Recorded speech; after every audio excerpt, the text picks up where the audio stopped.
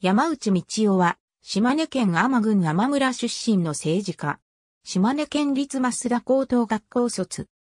1995年から2002年まで2期7年に、渡って天町議会議員を務め、2002年から2018年まで4期16年に、渡って天町長を務めた。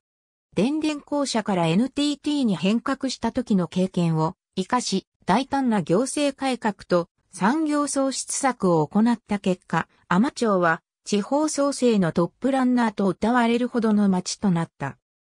第三セクター、株式会社ふるさと会社社長でもある。取締役総支配人を務めたマリンポートホテル、天両親は、鳥取県出身で、沖諸島、島前の海士郡天村に I ターンした人物である。1938年6月7日、山内道夫は天村に生まれた。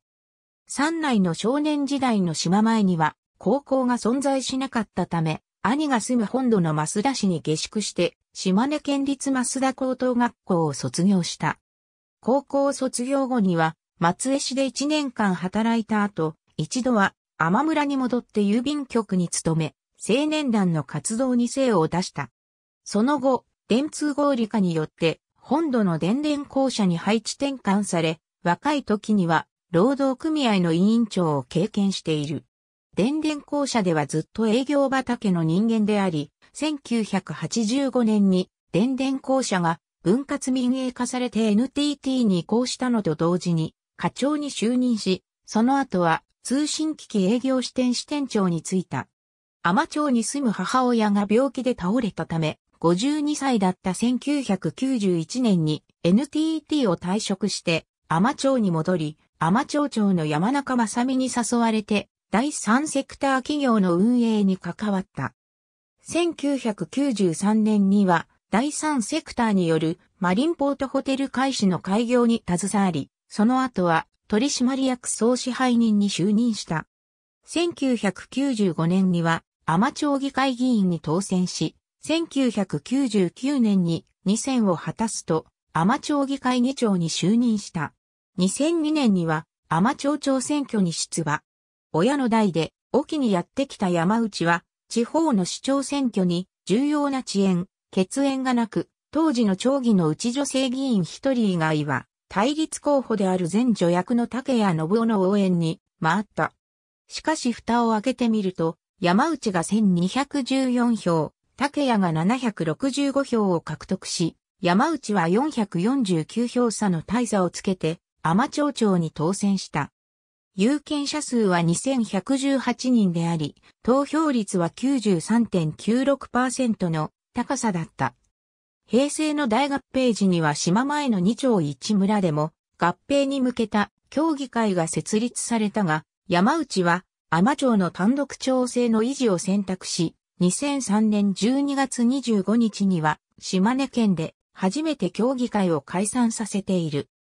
解散の際の文書では、まさに島の存亡の危機に直面する中で、今後は山町村で力を合わせ、県や国に対して、このような当初地域にあっても、自主的、主体的な行政運営が可能となる、よう積極的に働きかけていくと、高らかに宣言している。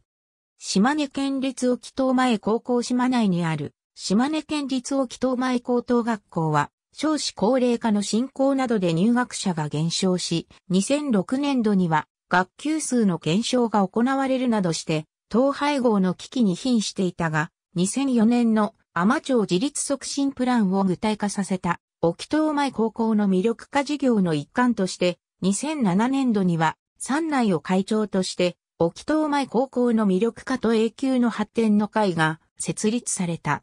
同会を構成する天町や沖東前高校では、I ターンの教育関係者を中心に、島前以外からの入学生の寮費無償化、公立学習塾である沖国学習センターの設立など斬新な施策を行った。2010年度には生徒の全国募集を開始し、2011年度には島根県外の茨城県、東京都、大阪府、兵庫県、広島県から計8人が、また、島根県の本土から4人が、計12人が、沖諸島外から入学した。これらの結果、2012年度には離島の高校として異例の学級像となった。山内が提唱した合言葉、ないものはないのポスター山内はまた、街づくりの中核に図書館を据えた。2007年には、甘町自立促進プランに基づき島全体を一つの図書館とみなす島丸ごと図書館構想を策定。2010年に甘町中央図書館が開館した。甘町中央図書館は滞在、交流型図書館を運営コンセプトとしている。甘町中央図書館の取り組みは分散型図書館サービスの先駆例と評価され、2014年には知的主義イニシアティブが主催するライブラリーオブザイヤーを受賞した。受賞前年の2013年にはライブラリーオブザイヤーの最終選考会が行われた第15回図書館総合展において主張が語る地方行政の現状と図書館への期待に差配し、甘町、女村の取り組みに学ぶというフォーラムに講師として登壇している。2006年5月には無投票で開始町長に2選し、2010年5月には無投票で開始町長に無投票で参戦し、2014年5月には無投票で開始町長に無投票で4選した。2018年5月の開始町長選挙には出馬せず山内の支援を受けた大江和彦が無投票で公認の町長に当選した。ありがとうございます。